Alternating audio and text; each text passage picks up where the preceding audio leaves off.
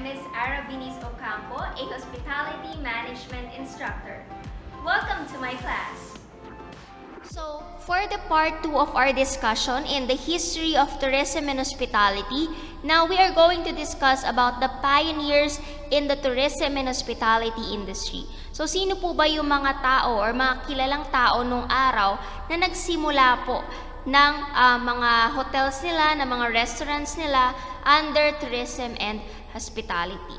So let's first begin with Cesar Ritz. So as mentioned a while ago, isa siya sa mga kilala, okay, na tao under hotel industry. He became the general manager of the Savoy Hotel in London. Okay, so yung kanya pong pangalan, which is yung um, apelido niya rather, na Ritz, is named or synonymous with the terms refined, elegant hotels, and service. Okay? So, siya po ang may-ari ng Ritz-Carlton Hotels, okay, na matatagpuan po natin sa Paris and sa London as well. So, we have also Ellsworth Milton Statler. So, he is considered as the premier hotel man of all time. So, bakit siya tinawag na premier hotel man? It's because um, hindi lang siya basta nagtayo ng hotel, pero ibinigay niya yung tinatawag na high standard of comfort and convenience. Especially sa mga middle class traveler na kung saan um, yung budget nila sa pagda-travel o yung budget nila sa pagbubuk ng hotel is, higa, is hindi ganon kalaki. So si Ellsworth Statler, nag-offer siya ng mga affordable prices sa mga turista noong unang panahon. So next one is the Conrad Hilton. So Conrad Hilton was the biggest hotel man in the world. Of course, he owned Hilton Corporation. He is also described by the New York Times as the master of hotel finance. So sa tingin ninyo, bakit? Bakit siya naging master of hotel finance? It's because he formed the first major chain of American hotels. So alam naman natin kapag mga chain hotels, madami. 'Di ba? Kumbaga sa franchise, madami. Iba't ibang bansa, merong Hilton Hotel. So that is Mr. Conrad Hilton. Next one is Thomas Cook. So Thomas Cook is recognized as the first professional travel agent. So siya po yung na-mention natin kanina na meron siyang first excursion trip between um, Leicester and Loughborough. Okay? So he is the founder of the world's first travel agency. Okay? So yung travel agency na nauso ngayon, so siya po yung founder noon. Okay? And Cook Tour used to refer to a tour that goes to many places and stops briefly at each place. Okay? So yun po si Mr. Thomas Cook. So next one is Howard Deering Johnson. So he was the pioneer of brand leveraging. He was one of the first to introduce franchising in 1930. So ibig sabihin ng um, brand leveraging, kumbaga, isa siya sa mga tao na kung saan ini-introduce niya okay, yung tinatawag na franchising. Kasi syempre, kapag franchising, most likely, um, lumalago yung business, pwede kang mag-put up ng mga hotels, yung brand mo mas makikilala, hindi lang sa sarili mong bansa, kundi sa iba't ibang bansa. So next one is J. Willard or Willard Marriott. Okay? So John Willard Marriott is the founder of the Marriott Corporation, which has the continued to be an important asset in the hospitality industry. So even here in the Philippines, may Marriott Hotel and even sa iba't ibang bansa. So parang almost similar sila ni Hilton Hotels. Ayan. So the next one is si Ray Kroc. So if you are a fan of eating um, McDonald products, so dapat kilala nyo po si Ray Kroc. So Ray Kroc has been the most financially successful of all hospitality entrepreneurs. He has founded um, the McDonald's Corporation, a multi-billion dollar industry. Pero sa mga hindi po nakakaalam, if ever you have a time, you can watch um, his movie, yung The Founder. Okay, so if you have time, please watch the movie The Founder. Mas makikilala nyo kung sino si Ray Kroc. So kasi si Ray Kroc, um, he is an American businessman. So parang all throughout yung journey niya, nare-reject siya, hindi siya nagiging successful, not until nakilala niya po si McDonald's brother. Okay, yung dalawang magkapatid na McDonald's brother. So in that case, tinulungan niya, okay, yung magkapatid na yon And most likely dahil hindi masyadong nagtitake ng risk yung dalawang magkapatid, okay, so siya po yung nanguna. So kumbaga si Ray Kroc, um, nagkaroon ng instances na dahil nga tinulungan niya yung magkapatid, okay, at dahil medyo hindi nagiging maayos yung business, um, humihina yung sales, So, kesa isara yung McDonald's, binili niya for 2.7 million dollars. Binili niya. But unfortunately, after niyang binili yon at gumana yung mga strategy niya at mga formulation niya sa McDonald's, eventually, he began to take credit for its birth. Okay? Pero hindi talaga siya yung nagtatag ng McDonald's. Okay? So, ang nagtayo ng McDonald's talaga is yung dalawang magkapatid. And eventually, siya lang yung nagpatuloy. Okay, so please watch The Founder. If you have time, you can watch it sa Netflix. At if ever, pwede nyo rin siyang i-download. Ayan, next one is Isadore Sharp. So, he is the first, ayan, or the founder of Four Seasons Regent Hotels. Okay, so he is a Canadian Okay, na siya po ang nagmamayari ng mga world's largest hotel chain in a multi-million dollar global hotel empire. So, Four Seasons na mention na natin yan kanina, isa rin sa mga kilalang hotels around the world. And the last one is Miss Ruth Fertel. So, above all, puro mga hotel chains yung napag-uusapan natin. Ruth Fertel was the founder of Chris Steakhouse. So, si Ruth Fertel naman po is isang restaurateur na nagmamayari ng mga steakhouse around United States. Okay? So he is the most successful woman restaurateur at present as well. So those are the pioneers of tourism and hospitality industry. So aside from that, let's try to take advantage ano, ano ba yung mga naging origins ng tourism and hospitality in the Philippines. Now, in the Philippines setting naman tayo. So, during the origins of the two industries, So nagkaroon na po ng tinatawag natin na Pan-American Airway Air Clippers. Okay? So ito po yung mga sinakyaan, okay, mga sinakyan ng mga Americans noong unang panahon and they were able to reach Manila after two weeks on board. Okay? So, before we proceed sa picture, nauso rin po yung tinatawag na color room, even noong unang panahon pa. So ngayon uso pa rin yan. Pag sinabi nating colorum, ito po yung mga illegal tour handling and illegal use of private vehicles for public use. Ibig sabihin, ito po yung mga sasakyan na ginagamit natin for public purposes pero hindi registrado. Okay, hindi po registrado, walang lisensya, yung plaka, ano na, hindi na siya maayos. So, illegal, ibig sabihin lang natin doon. Okay? So next, ayan, ito po yung itsura niya ng Pan American Airways. Ayan. So next one, ayan, we also have only few tourist attractions and destination na naging famous noong araw. So we have Manila, Pagsanhan Falls, Laguna Lake Tour, Tagaytay, Taal Volcano, Mount Mayon, Legazpi City, Baguio City, Banawe Rice Terraces, Cebu City, Zamboanga City as well.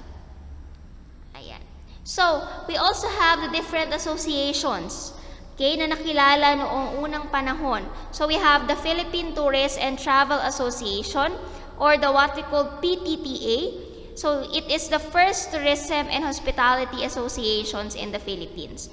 So, ang ginawa po niyan is yung government Okay, so pinondohan niya itong association na to para i-promote yung ating tourism and hospitality sa Pilipinas. So aside from that, we also have the National Tourism Organization o kilala na po siya bilang Department of Tourism ngayon. So the Department of Tourism, of course, sila po yung in charge to make plans and programs para ma-ensure natin yung pleasant and hospitable entry and stay and departure of the tourists as well. So si DOT siya po yung namamahala ng ating tourism industry. So kung paano ibabangon yung turismo lalo na ngayon sa panahon ng pandemya. So sila po yung in charge with regards to that. So, the last topic is about the factors that favor the growth of tourism and hospitality. So, ano po ba yung mga factors na dapat nating i-consider sa paglago okay, ng turismo at ng hospitality industry sa bansa natin? So, first one is the rising disposable income for large sections of the population. So, of course, dahil nga po karamihan is may trabaho, employed na, So, ibig sabihin, meron tayong mga extra pera. Okay? Meron tayong mga extra money to travel. Pero syempre, if you have a large family, baka hindi mo pa kaya kasi ang dami mong expenses, ba? So most likely if you have an extra income, um, we encourage you to travel, ba? To explore the world in case na 'yun yung interest mo sa buhay. Number two is growth in the number of retired persons who have the desire and the energy to travel. So, yung mga retirees, yung mga lolo't lolo ninyo, yung mga retired military people, ini-enjoy na lang nila yung buhay nila sa pagta-travel. Siyempre, kung kaya pa nila, no, kung may energy pa sila. So, increase in discretionary time. So, of course, even um, kapag may mga holidays, 'Di ba? Kapag may mga holidays, mga long weekends, so yun yung time natin to travel and explore iba't ibang destinations. So greater mobility of the population. So in this case, dahil po nagiging maayos na yung mga transportation services, okay? So yung mga tao nagkakaroon na rin ng mga travel opportunities, okay? In that way, nalilesen natin yung stress and pressure sa syudad. Okay? So, kumbaga parang sabi nga natin, short escapade. Alis muna tayo sa city, punta muna tayo sa mga provinces or mag-travel muna tayo. So, number five, growth in the number of singles. So, ngayon maraming tao na they prefer to live alone kasi mas marami silang free time, mas flexible yung time nila. Unlike sa mga couples nowadays na, yun nga, most likely yung ibang couples gusto nila sila at sila lang yung magkasama. So in this case, um, kapag single ka at nag-travel ka as an individual, most likely mas na-explore mo yung mundo. Okay, mas natututo ka na makipag-socialize. So number six, greater credit availability through credit cards and bank loans. So ngayon, dahil nga nauso na yung mga credit cards, pwede ka nang magpabook ng hotel using your credit cards. Ayan, you can even loan pwede kang mag-loan for you to travel, but you have to see to it na mababayaran mo. Kasi pag credit card, utang po yun. ba diba? Utang natin yun sa, sa bangko. We also have higher educational levels. Ayan, some people um, travel to other country para mag-aral. Doon sila magka-college, doon sila mag-masteral degree, and most likely yung mga ibang tao, they want to know yung mga foreign cultures as well. So, natututo din tayo kapag pupunta tayo sa ibang bansa. Number eight, the growth of cities. Ayan, so ibig sabihin lang dito, because of the Industrial Revolution, marami ng mga tao ang nakatira sa syudad. Okay? Kesa sa mga tao nakatira sa mga rural areas. So, nagiging congested kasi 'di ba dumadami yung population sa sa city. So, in that case, pag madami yung population, mas malaki yung tendency na maraming mag-dine-in sa mga restaurants, sa mga hotels at iba pang mga destination. So, simplification of travel through the package tour. So, syempre, nagiging um, less hassle na kasi yung mga travel agencies, nag-offer na po sila ng package tour na kung saan nakaplano na, naka-arrange na at included na lahat ng kailangan mo sa pagta-travel mo. Number 10 is the growth of multinational businesses. So, syempre, um, lumalaki yung mga businesses na yan, nagiging maunlad, nakikilala all over the world. And in that case, nagkakaroon lalo ng interest yung mga tao para ma-explore yung mga kilalang businesses na ito. So, modern transportation technology. So, as mentioned before, um, due to technological advances, mas nagiging mabilis na yung pagta-travel natin. Okay? Meron na tayong pagpipilian kung gusto natin mas less expensive, kung gusto natin na mas um, comfortable tayo. For example, sa isang um, airplane, sa mga airlines, pwede kang mag-book ng economy, pwede naman na business class. So, pag business class, most likely mas uh, magiging comfortable ka sa pagta-travel kasi iba yung service na ibibigay sa'yo. And syempre, yung business class, usually ina-avail ng mga mayayamang tao yan kapag pupunta sila sa ibang bansa. Okay, mahaba yung travel duration. 12, shift in values. So, syempre, um, kapag tayo is nagta-travel, we value um, the experience more than the material possession. Kasi syempre, yung mga material na bagay na yan, pwede naman natin bilhin kahit kailan. 'Di ba? Pwede naman natin orderin 'yan kahit hindi tayo umalis. But as we travel, yung experience na nakikreate natin, 'di ba? Mas kakaiba 'yun, iba yung effect. Na-experience mo first time na makaranas ng snow sa ibang bansa. So hindi naman mapapalitan 'yon ng kung ano mang material na na bagay. So para it is more on a deep expression sa sarili natin. And number 13, advances in communication. So, syempre, um, ngayon, pag nag-travel ka, most likely, hindi lang naman yan parang um, sasarilihin mo lang. Usually, you'll, you'll get to travel na pwede ka na mag-vlog, di ba? Pwede mo nang i-document, pwede mo nang um, i-video yung pagta-travel mo, take photos of it, post it in the social media. In that way, um, pwede mong i-communicate, pwede kang makipag-interact with other people as well. So, number 14, smaller families and changing roles. So, syempre, sa ibang bansa, most likely, um, kakaunti lang yung mga anak nila, and they have more free time to get away from family responsibilities. Pero syempre, dito nga sa Philippines, medyo hindi natin napapractice yung family planning. Ang daming mga tao pa rin na kahit na hindi na nila kayang buhayin yung mga anak nila, is patuloy pa rin, okay, na um, nag-aanak. So, syempre, if we have smaller families, mas may kaya natin, okay? Mas kaya natin na mag-travel. Mas kaya natin na paglaanan ng oras at ng pera kung saan man natin gusto pumunta. Okay? So, that's the end of our presentation. Thank you so much for listening in our discussion. I hope that you will watch the part 1 as well as this part so you can um, assess if you ever learn something about our discussion. So, thank you so much for listening and have a nice day.